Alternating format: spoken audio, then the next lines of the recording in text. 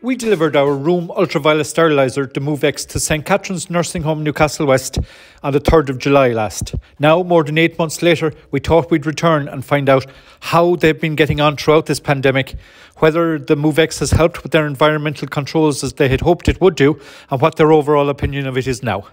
Anne McMahon, General Manager of the nursing home, spoke to us on Friday last. The MoveX machine has been very beneficial in uh, helping us to prevent the spread of infection here in St Catherine's Nurse. And I suppose we have been using it in um, visitation areas, in the dining staff room, the staff dining area, um, and in residents sitting rooms and bedrooms after discharge. We will be opening up for visitation on March the 22nd and this machine will be very valuable um, in helping us to, uh, I suppose, to prevent the spread of infection.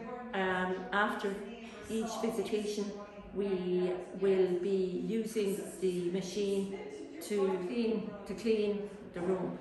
Um, this machine is very valuable really for the nursing home and uh, preventing the spread of infection. Um, we, it's very reassuring to know that we have a machine that can, as well as the cleaning of the environment, we have this machine, uh, the ultraviolet rays, helps to assist with the prevention of infection. Um, I suppose we have initially had one case of COVID earlier in the year in April and we have had no cases in the nursing home since.